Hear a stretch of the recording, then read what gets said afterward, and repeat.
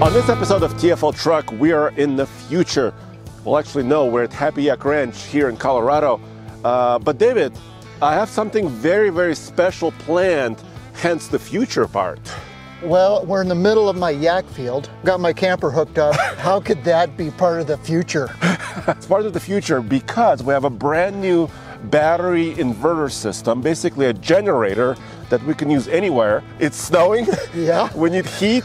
We, I'm hungry. I'm wondering why you came in the middle of a snowstorm to check this thing out. Could Well- you have picked a nice day? Yes, uh, we have a brand new first ever Zendure system, a battery inverter system. Let me show you Well- the battery. Actually, this is a perfect day, Andre. Why? Because we need to hook up the heater Yes. and we need to grill a yak burger and see how much power this thing can put out. This video is brought to you guys by our friends at Zendure. Use the link in the description below. You can learn much more about this system. I'm pretty excited about different use cases that are possible.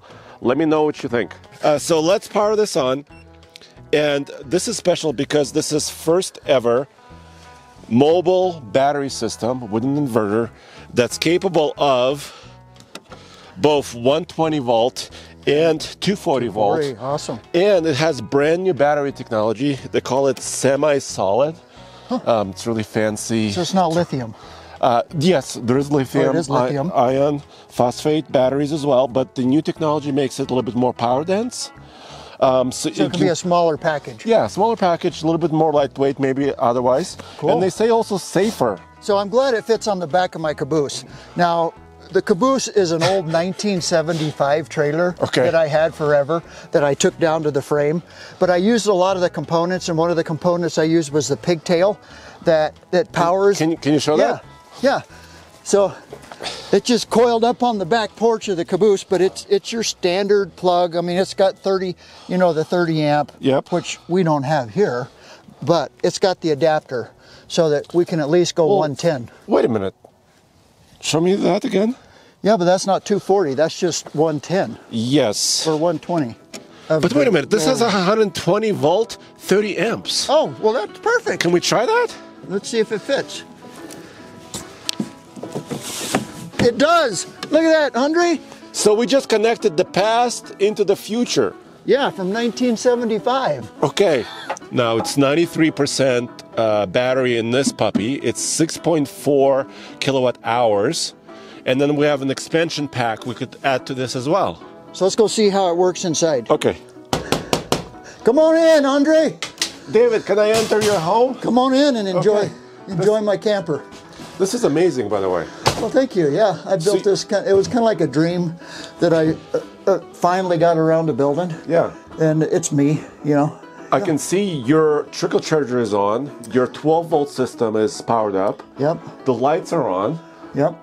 But let's get some heat in Get the heater going. Yeah. So this will be nice to you know because when I'm in the woods, I can't use this. I have to use a propane heater. Right. But this would give me the, uh, the opportunity to go up in the hills and, and heat my caboose even when it's snowing outside. So let's see. I wonder what. Let's put it on high and then we'll just set uh, our temperature at maybe A comfortable, what, 70, 71? 70? Yeah. All right, David. So the heater is on, and it's showing about uh, 1,290 or 85 watts. watts, and it's probably going to pull that until the whole caboose gets up to temperature. Yeah, but you have really good insulation, right? Well, that's what I really pride myself on. Those windows are like house windows. They're argon filled double pane windows. Yeah. And then I insulated insulated it uh, with foam. So it it does really good in the cold weather. So let's do this calculation, right? We have 6.4 kilowatt hours, Uh-huh. right? So that's about 64. Uh, if everything was perfect, that was about 64 watt hours. Okay. Divide by what is it, 1285? Uh-huh. That's the power that the heater is drawing. Using, yeah. You have about almost five hours of Continuous use. continuous heat time. So I, I got a feeling it'll it'll heat it longer than that because once it gets up to temperature, it's going to click on and off with this thermostat. But let's double that. So uh, it might Let's- make it through the night. But we can double it. All right, David. People might be wondering how heavy this stuff It's is. heavy. Right. So this is about 130 pounds. Wow. This is 100 pounds. 100 pounds, But okay. let's double the capacity, like we said. Sweet. Right? Oh, it kind of locks in place. Locks Oh, in look at place. And now this is 6.4 kilowatt hours. This is another 6.4 kilowatt hours. Uh, now we need to connect them. So this is the daisy chain cable. And according to the company, you could put up to three more. So you can do four of them here. That would look cool on the back of my caboose.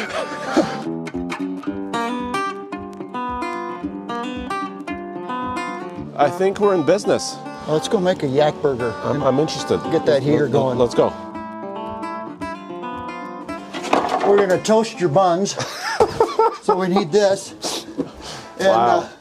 uh, let's see, we gotta cook our burger. So Oh, wow. we need a griddle. You do have a lot of stuff here. So if you notice, all that's on my countertop is Yeah. just the sink. Yes. I didn't put a stove in here. I didn't put any other appliances.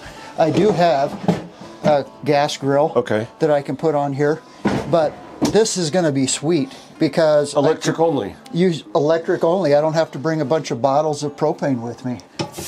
Aha. Oh, I love that sizzle. Oh, yes. So this battery, it's kind of like ha- having a jerry can, right? Jerry can of energy. Um, you could fast charge it at an EV charger. Yeah. Okay. Uh, yeah. So it'll take an hour or two, Oh, you know, cool. to charge one of one of them. So uh, you can run a lot of things with it. It's capable of up to 5,000 watts. Yeah. You know, I have a new scale for energy usage. Oh, that's right. Yeah. So the frozen pizza. This is everybody, good, this is good. everybody has made a frozen pizza. It takes about 0.7 kilowatt hours of energy. Okay. So, using 6.4 kilowatt, that's in the oven. in the oven. Okay. 6,400 watt hours divided by 700 watt hours that need, needed to cook a frozen pizza in the in the oven. Okay. We can cook nine pizzas on the amount of energy. Is that on just the base one that we have, not the satellite? Yeah, just on the Just base on one. the base yeah. one. Yeah. So the satellite does doubles that. Yeah. So We could cook 18 pizzas. yes, so we can run a big party. So what about cooking a Thanksgiving turkey? That's about eight kilowatt hours. So we need this satellite for that. And then I haven't even told you, it will charge an, an electric car. But how many miles can you go on that? Well, let me show you. I, Okay. I, I, I'm going to go home. I'm going to use my wife's car as an example, and I'll Oh, show you. Okay, cool. All right, David. So I went home and it started snowing really hard, so I wasn't able to show the Zendure uh, charging my wife's BMW i3. But what I can show is it charging a Hummer EV electric truck. So I have it hooked up.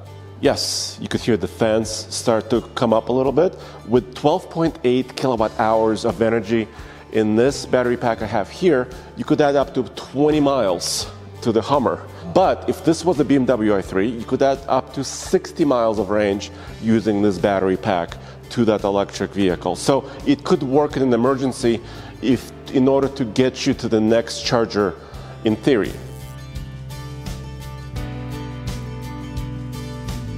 David, I'm gonna go check our energy usage, okay? All right, well, don't get caught in the snowstorm. Whoa, s- snow! Okay, so it's still running around 2,000 watts. Okay, consistent. Yeah.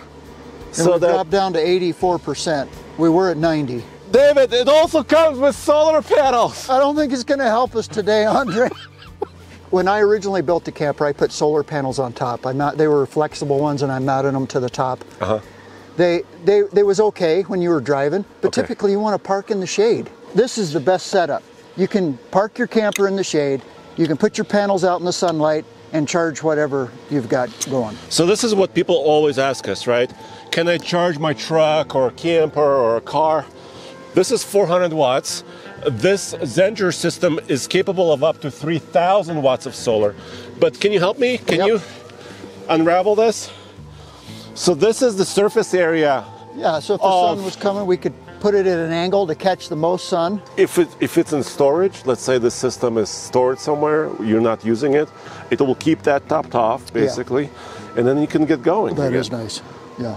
I've got more goodies. So of course you can get accessories like you saw the solar panels. Let me show you this. We mentioned, I mentioned charging a, a vehicle, and Zendure will um, offer this standard 1772 cable and plug right there. And then I also said you could charge this battery system with a fast charger, and this is the adapter they provide. That's nice. It's dinner time. Come on. How the Hungry. buns? Are you hungry? Yes. Okay. I skipped lunch today. I was was just Well, I'm glad we can take care of you here at the Happy Yak Ranch. okay. I appreciate And, it. uh, Dude, there's no almost no fat. well, that's a great thing about yak. It's probably like 96, 97%. That's that is Yeah, like- amazing. All right, you want some ketchup? Yeah, Put yeah. some ketchup yeah, on let there. me, let me do it. What are you gonna have? I'm going to have a uh, English muffin.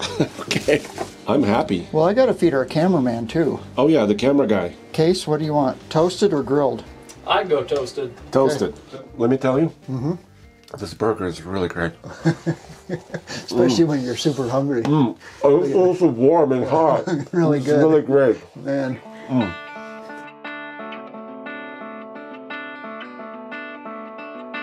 All right, David. Well, I feel better. I, I ate. I'm sorry I didn't have enough for both Case and I, but I'm glad you're full.